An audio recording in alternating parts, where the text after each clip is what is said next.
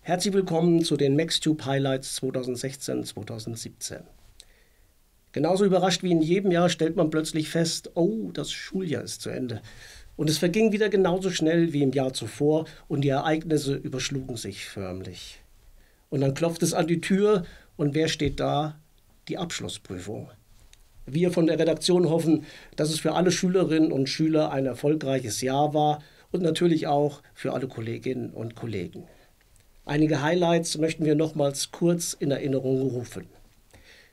Selbstverständlich war unsere Schule auf dem Marktplatz Ausbildung im September in der Hessenhalle vertreten. Diese Messe wird von der MES regelmäßig genutzt, um über unser breites Ausbildungsspektrum zu informieren.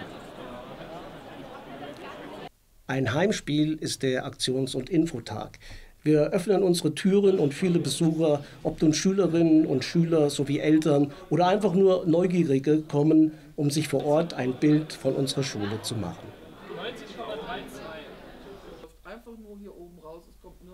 Der Karosserie- und Fahrzeugbau erhielt eine CNC-Plasmaschneidanlage von der Heinz- und Gisela Friedrich Stiftung.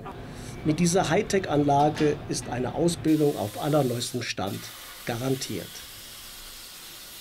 Schon zur Tradition geworden ist wahrscheinlich der kleinste Weihnachtsmarkt Europas im Foyer der MES. Bei frischen Waffeln und Plätzchen und einer Weihnachtsbude verbreiten die Schülerinnen und Schüler gemütliche Weihnachtsatmosphäre in unserer Schule.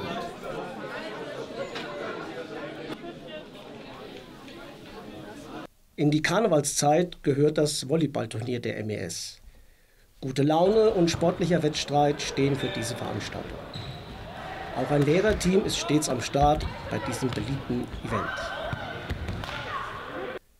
Besuch aus weiter Ferne hatten wir, als ein Mädchenchor aus der Stadt Binshu in der ostchinesischen Provinz Shandong ein kleines Konzert in der Aula der Max-Alt-Schule gab. Begleitet wurde der Chor noch von einer Delegation ihrer Heimatstadt. Friedhelm Walter wurde im Februar neuer Schulleiter der Max-Alt-Schule.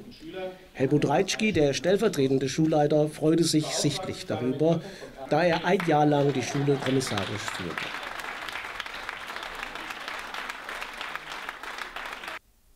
Für die Bau- und Landmaschinenmechatroniker war der März ein guter Monat. Ihr Fuhrpark wurde um eine Heuballenpresse und einen nagelneuen Traktor im Rahmen der Ausstattungsinitiative des Landkreises ergänzt. So ist auch hier weiterhin die Ausbildung auf modernstem Stand gewährleistet. Die Fashion Week im Vogelsberg oder einfach die Modenschau in der MES jährte sich zum 15. Mal. Die angehenden Modeschneiderinnen und Modeschneider richten diesen Event aus. Die professionelle Umsetzung dieser Veranstaltung begeistert die Zuschauer jedes Jahr aufs Neue. Die Young Americans im Haus zu haben, bedeutet Musik, Tanz, Power und viel Spaß für alle Mitwirkenden des dreitägigen Workshops. Die Young Americans studierten mit den Teilnehmern ein Showprogramm ein, welches am letzten Abend in einer beeindruckenden Aufführung präsentiert wurde.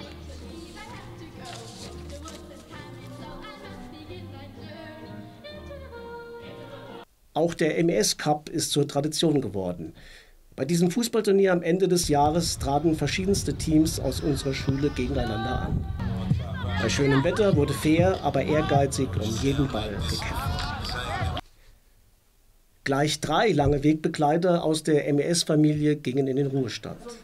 Nach über 30 Jahren Tätigkeit an der Max-Eid-Schule wurden die Kollegin Birgit Zinzer und der stellvertretende Schulleiter Helmut Reitschki aus dem aktiven Dienst feierlich verabschiedet. Ebenso in den Ruhestand ging die gute Seele aus dem Sekretariat, Frau Rabe, die viele Schüler aus dem Infopoint kennen. Wir wünschen Ihnen eine schöne Zeit mit den abschließenden Worten Jetzt geht's erst richtig los. Dies waren die Highlights des vergangenen Jahres. Mixtube wünscht allen schöne Ferien und im nächsten Jahr sind wir wieder dabei, ob Short Reports oder News. In diesem Sinne, das Wetter.